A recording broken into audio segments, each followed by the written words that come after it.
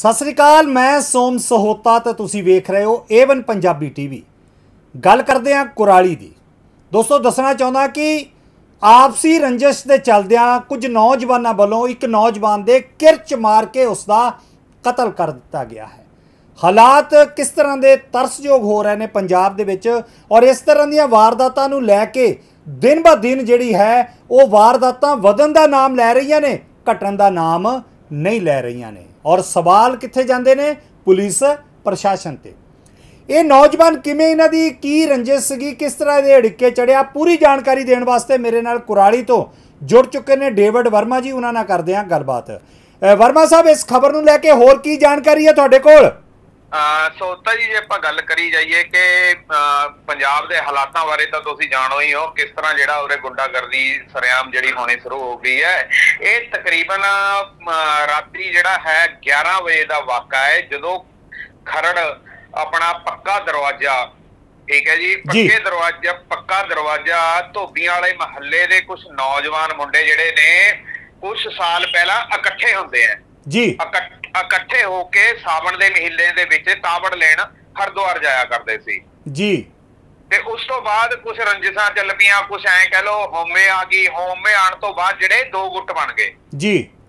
ਸਾਵਣ ਦਾ ਮਹੀਨਾ ਆ ਗਿਆ ਫੇਰ ਤੋਂ ਜਿਹੜਾ ਕਾਵੜ ਲੈਣ ਜਿਹੜੇ ਜਾ ਰਹੇ ਸੀ ਤੇ ਉਸ ਤੋਂ ਪਹਿਲਾਂ ਹੀ ਕਹਿ ਲੋ ਆਪਾਂ ਇਹ ਕਾਵੜ ਲੈ ਕੇ ਆਏ ਉਸ ਤੋਂ ਪਹਿਲਾਂ ਜਿਹੜਾ ਹੈ ਹਜੇ ਸਾਵਣ ਦਾ ਮਹੀਨਾ ਹੈ ਕਾਵੜ ਲਿਆਣੇ ਦੀ ਸ਼ੁਰੂਆਤ ਹੋਣੀ ਸੀ ਹਜੇ। ਜੀ। ਤੇ ਉਸ ਤੋਂ ਉਸ ਤੋਂ ਪਹਿਲਾਂ ਤਕਰੀਬਨ ਰਕੇਸ਼ ਕੁਮਾਰ ਪੁੱਤਰ ਸੁਰਿੰਦਰ ਕੁਮਾਰ ਅਹ, ਪੱਕੇ ਦਰਵਾਜ਼ੇ ਦੇ ਲਾਗੇ ਧੋਬੀਆਂ ਵਾਲੇ ਮਹੱਲੇ ਦਾ ਰਹਿਣ ਵਾਲਾ ਆਪਣੇ ਦੋਸਤ ਜਤਿੰਦਰ ਕੁਮਾਰ ਪੁੱਤਰ ਪ੍ਰੇਮ ਚੰਦ ਦੇ ਨਾਲ ਜਿਹੜਾ ਹੈ ਰੋ- ਖਾਣਾ ਪੀਣਾ ਖਾ ਕੇ ਆਪਣਾ ਸੈਰ ਨੂੰ ਬਾਜ਼ਾਰ ਦੇ ਵਿੱਚ ਘੁੰਮ ਰਿਹਾ ਸੀ। ਜੀ।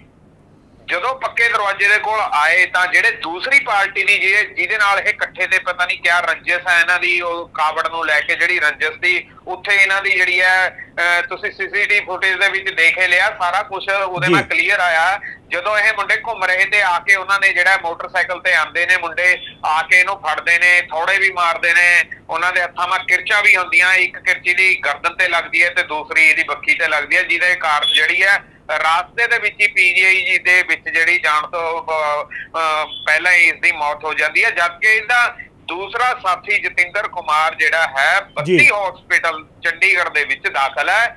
ਫਿਲਹਾਲ ਜਿਹੜਾ ਖਰੜ ਸਿਟੀ ਦੇ ਐਸਐਚਓ ਅਸ਼ੋਕ ਕੁਮਾਰ ਦੇ ਵੱਲੋਂ ਜਿਹੜਾ ਕਿਹਾ ਜਾ ਰਿਹਾ ਹੈ ਕਿ ਨਿਰਪੱਖ ਹੋ ਕੇ ਜਾਂਚ ਕੀਤੀ ਜਾ ਰਹੀ ਹੈ। ਪੁਲਿਸ ਪਾਰਟੀ ਉਸ ਮੌਕੇ ਤੇ ਵੀ ਪਹੁੰਚ ਗਈ ਸੀ। ਸਾਰੀ ਸੀਸੀਟੀਵੀ ਫੁਟੇਜ ਵੀ ਡੀਐਸਪੀ ਸਾਹਿਬ ਨੇ ਵੀ ਖੰਗਾਲੀ ਹੈ ਤੇ 8 ਜਿਹੜੇ ਮੁਲਜ਼ਮ ਨੇ ਉਹ ਨਾਮਜ਼ਦ ਕੀਤੇ ਗਏ ਨੇ। ਤੇ ਉਮੀਦ ਜਤਾਈ ਜਾ ਰਹੀ ਹੈ ਕਿ ਜਲਦ ਤੋਂ ਜਲਦ ਜਿਹੜੇ ਵੀ ਨੇ ਉਹ ਪਹਿਲਾਂ ਤਾਂ ਜਿਹੜੇ ਹੈ ਮਸਲੇ ਨੂੰ ਠੰਡਾ ਕਰਨ ਦੀ ਕੋਸ਼ਿਸ਼ ਕੀਤੀ ਗਈ। ਉਸ ਤੋਂ ਬਾਅਦ ਜਦੋਂ ਅਹ, ਜਿਨ੍ਹਾਂ ਦਾ ਲੜਕਾ ਮਰਿਆ ਰਕੇਸ਼ ਕੁਮਾਰ ਤਾਂ ਜੀ। ਉਸਦੇ ਘਰਦਿਆਂ ਦੇ ਵੱਲੋਂ ਜਿਹੜਾ ਸਿਟੀ ਥਾਣੇ ਦਾ ਘਰਾਓ ਕਰਕੇ ਉੱਥੇ ਨਾਅਰੇਬਾਜ਼ੀ ਵੀ ਕੀਤੀ ਗਈ ਉਹ ਵੀ ਤੁਹਾਨੂੰ ਅਸੀਂ ਕਲਿੱਪ ਜਿਹੜੇ ਭੇਜ ਚੁੱਕੇ ਹਾਂ ਤੁਸੀਂ ਉਹ ਵੀ ਦੇਖ ਹੀ ਲਿੱਤੇ ਨੇ। ਸੋ ਡੇਵਿਡ ਜੀ ਬਹੁਤ ਬਹੁਤ ਮਿਹਰਬਾਨੀ ਤੁਸੀਂ ਸਾਰੀ ਜਾਣਕਾਰੀ ਦਿੱਤੀ ਔਰ ਇਸ ਸੰਬੰਧ ਵਿੱਚ ਕਿਸ ਨਾਲ ਕੀ ਗੱਲਬਾਤ ਹੋਈ ਹੈ ਤੁਸੀਂ ਸੁਣ ਸਕਦੇ ਹੋ। ਦੇਖੋ ਅੱਜ ਸਾਡੇ ਕੋਲ ਇੱਕ ਮਾਰਨਿੰਗ ਇੰਟੀਮੇਸ਼ਨ ਆਈ ਸੀਗੀ ਵੀ ਇੱਕ ਰਕੇਸ਼ ਕੁਮਾਰ ਨਾਂ ਦੇ ਮੁੰਡੇ ਦੀ ਜਿਹੜੀ ਹੈਗੀ ਹੈ ਰਾਤ ਦੇ ਸਮੇਂ ਲੜਾਈ ਦੌਰਾਨ ਜਿਹੜੀ ਹੈਗੀ ਹੈ ਡੈਥ ਹੋਈ ਹੈ। ਸਿਵਲ ਹਸਪੀਟਲ ਬੱਤੀ ਤੋਂ। ਇਸ ਸੰਬੰਧੀ ਜਿਹੜਾ ਹੈਗਾ ਅਸੀਂ ਇਮੀਡੀਏਟ ਜਿਹੜੀ ਜਿਹੜਾ ਹੈਗਾ ਐਕਸ਼ਨ ਕਰਦੇ ਰਹੇ। ਇਹਦੇ ਨਾਲ ਇੱਕ ਇੰਜਰਡ ਹੋਰ ਪਰਸਨ ਸੀ ਜਤਿੰਦਰ ਕੁਮਾਰ ਦਾ ਜਿਹੜਾ ਦੋਸਤ ਸੀਗਾ। ਉਹਦੇ ਬਿਆਨਾਂ ਤੇ ਅਸੀਂ ਜਿਹੜਾ ਹੈਗਾ ਅਧੀਨ ਧਾਰਾ 302 307 148 149 323 ਤੇ 120 ਵੀ ਅਹ, ਤਹਿਤ 8 ਵਿਅਕਤੀਆਂ ਦਾ ਜਿਹੜਾ ਹੈਗਾ ਮੁਕੱਦਮਾ ਦਰਜ ਰਜਿਸਟਰ ਕੀਤਾ। ਸੋ ਇਹ ਇੱਕ ਮਰਡਰ ਕੇਸ ਹੁੰਦੇ ਹੋਏ ਇਹਨੂੰ ਅਸੀਂ ਸੀਰੀਅਸ ਲੈਂਦੇ ਹੋਏ ਜਿਹੜੀਆਂ ਅਸੀਂ ਅਲੱਗ-ਅਲੱਗ ਚਾਰ ਟੀਮਾਂ ਅਸੀਂ ਬਣਾਈਆਂ ਸੀ। ਦੋਸ਼ੀਆਂ ਨੂੰ ਗ੍ਰਿਫਤਾਰ ਕਰਨ ਸੰਬੰਧੀ, ਜਿਸ ਵਿੱਚ ਅਸੀਂ ਤਿੰਨ ਦੋਸ਼ੀਆਂ ਨੂੰ ਗ੍ਰਿਫਤਾਰ ਵਿੱਚ ਕਾਮ ਕਰਨ ਵਿੱਚ ਕਾਮਯਾਬ ਹੋਏ ਹਾਂ ਬਾਕੀ ਜਿਹੜੇ ਹੈਗੇ ਆ ਪੰਜ ਦੋਸ਼ੀ, ਉਹ ਫਰਾਰ ਹਾਲ ਦੀ ਕੜੀ ਜਿਨ੍ਹਾਂ ਨੂੰ ਅਸੀਂ ਫੜਨ ਲਈ ਅਲੱਗ-ਅਲੱਗ ਟੀਮਾਂ ਬਣਾਈਆਂ ਹੋਈਆਂ। ਇਸ ਤੋਂ ਇਲਾਵਾ ਅਸੀਂ ਟੈਕਨੀਕਲ ਹੋਰ ਜਿੰਨੇ ਵੀ ਸਾਡੇ ਵਿੰਗ ਆ, ਅਸੀਂ ਉਹਨਾਂ ਦੀ ਹੈਲਪ ਨਾਲ ਜਿਹੜਾ ਹੈਗਾ, ਉਹਨਾਂ ਨੂੰ ਬਹੁਤ ਜਲਦੀ ਗ੍ਰਿਫਤਾਰ ਕਰਨਾ ਕਤਲ ਦੀ ਰੰਜਿਸ਼ ਕਿਆ ਸਾਬਤ ਹੋ ਰਹੀ ਹੈ? ਦੇਖੋ ਜੀ, ਇਹ ਕਾਬੜੀਆ ਸਮਾਜ ਦੇ ਦੋਨੋਂ ਮਤਲਬ ਜੋ ਮੇਰੇ ਕੋਲੇ ਸਾਹਮਣੇ ਆਈ ਹੈ ਜਾਂ ਜਿਹੜੀ ਮਦਈ ਦੀ ਸਟੇਟਮੈਂਟ ਹੈਗੀ ਹੈ ਉਹਦੇ ਮੁਤਾਬਕ ਇਹ ਕਾਬੜੀ ਸਮਾਜ ਦੇ ਸੀਗੇ। ਸੋ ਇਹਨਾਂ ਦੀ ਆਪਸ ਵਿੱਚ 7-8 ਮਹੀਨੇ ਤੋਂ ਪਹਿਲਾਂ, ਸੋ ਅਲੱਗ-ਅਲੱਗ ਇਹਨਾਂ ਨੇ ਗਰੁੱਪ ਹੋ ਗਏ ਸੀਗੇ। ਸੋ ਇਹਨਾਂ ਦੀ ਆਪਸ ਵਿੱਚ ਛੋਟੀ-ਮੋਟੀ ਤਕਰਾਰਬਾਜ਼ੀ ਚੱਲਦੀ ਰਹਿੰਦੀ ਸੀ। ਰਾਤ ਦੇ ਸਮੇਂ ਵੀ ਇਹਨਾਂ ਦੀ ਕੋਈ ਜ਼ਿਆਦਾ ਤਕਰਾਰ ਨਹੀਂ ਹੋਈ ਸੀ। ਮਾਮੂਲੀ ਜਿਹੜੇ ਹੈਗੇ ਗੱਲਬਾਤ ਤੋਂ ਝਗੜੇ ਹੋਣ ਤੇ ਜਿਹੜੇ ਦੋਸ਼ੀ ਪਾਰਟੀ ਹੈ ਉਹਨਾਂ ਨੇ ਇਹਨਾਂ ਦੇ ਨਾਲ ਕਿਰਚਾਂ ਤੇ ਰਾੜਾਂ ਅ, ਹੋਰ ਬੇਸਬਾਲਾਂ ਨਾਲ ਜਿਹੜਾ ਹੈਗਾ ਵਾਰ ਕਰਕੇ ਇਹਦਾ ਜੋ ਹੈਗਾ ਮਰਡਰ ਕੀਤਾ ਰਕੇਸ਼ ਕੁਮਾਰ ਦਾ। ਬਾਕੀ ਫਰਦਰ ਇਨਵੈਸਟੀਗੇਸ਼ਨ ਜਿਹੜੀ ਹੈਗੀ ਹੈ। ਇਹਦੇ 'ਚ ਇੱਕ ਮਹਿਲਾ ਦਾ ਨਾਮ ਆ ਰਿਹਾ ਕਿ ਉਹ ਸਹੀ ਹੈ? ਕਿੰਨਾ ਦਾ ਜੀ? ਮਹਿਲਾ ਦਾ ਨਾਮ ਆ ਰਿਹਾ ਹਾਂ ਇੱਕ ਮਹਿਲਾ ਸੀਗੀ ਉਹ ਵੀ ਅਸੀਂ ਸੀਸੀਟੀਵੀ ਫੁਟੇਜ ਦੇਖੀ ਹੈ ਸੋ ਜਿਹੜਾ ਹੈਗਾ ਮੇਨ ਅਕਿਊਜ਼ਡ ਦੇ ਵਿੱਚ ਜਿਹੜਾ ਹੈਗਾ ਆਪਣੇ ਕੋਲੇ ਵਿਕਾਸ ਸਿੰਗਲਾ ਹੈਗਾ ਉਹਦੀ ਮਾਤਾ ਕਿਰਨ ਬਾਲਾ ਸੀ ਸੋ ਉਹ ਵੀ ਆ ਰਹੀ ਹੈ ਉਹ ਵੀ ਚਪੇੜਾ ਮਾਰਦੀ ਦਿਖ ਰਹੀ ਹੈ ਸੋ ਹੈ ਬਿਲਕੁਲ ਇਨਵੋਲਵਮੈਂਟ ਹੈ ਸੀਸੀਟੀਵੀ ਫੁਟੇਜ ਪ੍ਰੈਸ ਨੂੰ ਮਿਲ ਸਕਦੀ ਹੈ? ਹਾਂ, ਬਿਲਕੁਲ ਅਸੀਂ ਅਵੇਲੇਬਲ ਕਰਾਵਾਂਗੇ ਬਟ ਫਰਦਰ ਸਾਨੂੰ ਅਜੇ ਹਾਲ ਦੀ ਕੜੀ ਸਾਡੀ ਪ੍ਰੀਮੀਅਰ ਇਨਵੈਸਟੀਗੇਸ਼ਨ ਹੈਗੀ ਆ ਇਨਵੈਸਟੀਗੇਸ਼ਨ ਚੱਲ ਰਹੀ ਹੈ ਅਸੀਂ ਜ਼ਰੂਰ ਪ੍ਰੋਵਾਈਡ ਕਰਾਂਗੇ। ਅਰੈਸਟ ਕੌਣ ਕੌਣ ਹੋਏ ਅਰੈਸਟ ਦੇ ਵਿੱਚ ਇੱਕ ਹੈਗੇ ਆ ਸਾਡੇ ਕੋਲੇ ਮਾਧਵ ਗੁਪਤਾ ਜੀ ਸੋ ਇੱਕ ਗੋਪਾਲ ਕ੍ਰਿਸ਼ਨ ਤੇ ਥਰਡ ਇੱਕ ਸੁਮਨ ਸ਼ਰਮਾ ਹੈਗੇ ਆ ਇਹਨਾਂ ਦੀ ਗ੍ਰਿਫਤਾਰੀ ਅਸੀਂ ਜਿਹੜੀ। ਠੀਕ ਹੈ। ਸੁਮਨ ਸ਼ਰਮਾ ਔਰਤ ਹੈ? ਨਹੀਂ ਨਹੀਂ। ਸੁਮਨ ਸ਼ਰਮਾ ਜਿਹੜਾ ਹੈਗਾ ਜੀ। ਤਿੰਨੋਂ ਮੇਲ ਗ੍ਰਿਫਤਾਰ ਹਾਂਜੀ ਪੰਜ ਬਾਕੀ ਕਿਹੜੇ ਨੇ?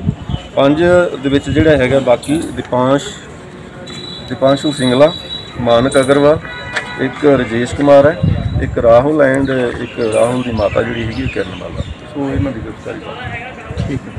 ਧੰਨਵਾਦ। ਸੋ ਦੋਸਤੋ ਆਪਸੀ ਰੰਜਿਸ਼ਾਂ ਕਰਕੇ ਕਿਤੇ ਨਾ ਕਿਤੇ ਆਪਾਂ ਆਪਣੇ ਆਪਣੇ ਆਪਣਿਆਂ ਨੂੰ ਖੋ ਰਹੇ ਹਾਂ ਔਰ ਇਹ ਜਿਹੜੀਆਂ ਦੁਸ਼ਮਣੀਆਂ ਨੇ ਇਹ ਵੱਧ ਰਹੀਆਂ ਨੇ ਔਰ ਜੇਕਰ ਇਸੇ ਤਰ੍ਹਾਂ ਹੀ ਦੁਸ਼ਮਣੀਆਂ ਵਧਦੀਆਂ ਗਈਆਂ ਤੇ ਹਾਲਾਤ ਜਿਹੜੇ ਨੇ ਉਹ ਹੋਰ ਵੀ ਜ਼ਿਆਦਾ ਤਰਸਯੋਗ ਹੋ ਜਾਣਗੇ। ਇਹ ਸੀ ਹੁਣ ਤੱਕ ਦੀ ਅਪਡੇਟ। ਨਵੀਆਂ ਤੇ ਤਾਜ਼ਾ ਖਬਰਾਂ ਲਈ ਜੁੜੇ ਰਹੋ ਏਵਨ ਪੰਜਾਬੀ ਟੀਵੀ ਦੇ ਨਾਲ। ਫ੍ਰੀ ਲੀਫ ਆਯੁਰਵੈਦਿਕ ਆਇਲ 125 ਬਿਮਾਰੀਆਂ ਦਾ ਸੰਪੂਰਨ ਇਲਾਜ ਜਿਵੇਂ ਗਠੀਆ ਸਰਵਾਈਕਲ ਮਾਈਗ੍ਰੇਨ ਅਤੇ ਸਰੀਰ ਵਿੱਚ ਕਿਸੇ ਵੀ ਕਿਸਮ ਦੀ ਦਰਦ ਕਿਉਂ ਨਾ ਹੁੰਦੀ ਹੋਵੇ, ਇੱਥੋਂ ਤੱਕ ਕਿ ਬਲੌਕੇਜ ਦੇ ਨਾਲ ਬਣੀਆਂ ਕਈ ਬਿਮਾਰੀਆਂ ਦਾ ਇੱਕੋ ਇੱਕ ਇਲਾਜ ਹੈ ਫ੍ਰੀ ਰਿਲੀਫ ਆਯੁਰਵੈਦਿਕ ਆਇਲ ਯਾਨੀ ਕਿ 125 ਬਿਮਾਰੀਆਂ ਦਾ ਸੰਪੂਰਨ ਇਲਾਜ। ਫ੍ਰੀ ਰਿਲੀਫ ਵਿਜ਼ੀਲੈਕਸ weight ਲੂਜ਼ ਮੋਟਾਪੇ ਤੋਂ ਪਰੇਸ਼ਾਨ ਹੋਣ ਦੀ ਜ਼ਰੂਰਤ ਨਹੀਂ। ਵਜ਼ਨ ਘਟਾਓ ਤੇ ਖੁਸ਼ ਹੋ ਜਾਓ। Free relief power. ਮਰਦਾਨਾ ਕਮਜ਼ੋਰੀ ਨੂੰ ਖਤਮ ਕਰਦਾ ਹੈ ਤੇ ਨਰਕ ਭਰੀ ਜ਼ਿੰਦਗੀ ਵਿੱਚ ਲਿਆਉਂਦਾ ਹੈ ਰੌਣਕ। Free relief power. ਕਬਜ਼ ਤੋਂ ਪਰੇਸ਼ਾਨ ਹੋਣ ਦੀ ਹੁਣ ਜ਼ਰੂਰਤ ਨਹੀਂ ਹੈ। ਕਬਜ਼ ਤੋਂ ਛੁਟਕਾਰਾ ਪਾਉਣ ਲਈ ਆ ਗਿਆ। ਕਬਜ਼ ਹਰ ਚੂਰਨ। ਕਬਜ਼ ਹਰ ਚੂਰਨ ਨੂੰ ਅਪਣਾਓ ਤੇ ਕਬਜ਼ ਤੋਂ ਛੁਟਕਾਰਾ ਪਾਓ। ਹੁਣ ਤੱਕ ਲੱਖਾਂ ਮਰੀਜ਼ ਲੈ ਚੁੱਕੇ ਨੇ ਫਾਇਦਾ।